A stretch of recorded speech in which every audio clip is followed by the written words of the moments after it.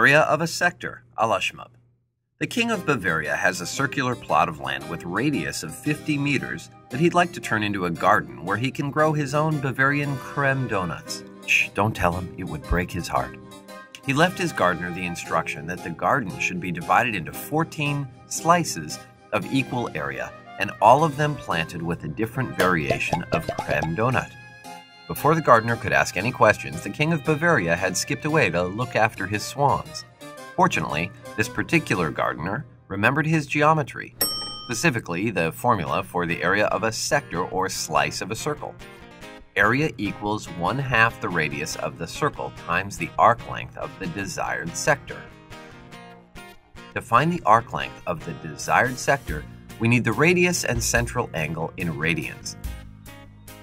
An entire circle encompasses 2 pi radians, and the king wants it divided 14 ways, so the central angle of each sector would be 2 pi divided by 14. 2 divided by 14 simplifies to 1 over 7, so we can reduce 2 pi over 14 to pi over 7 radians. Multiply this by the radians of the garden, 50 meters, and we have 50 pi over 7 meters for the arc length. Now we can find the area of the sector.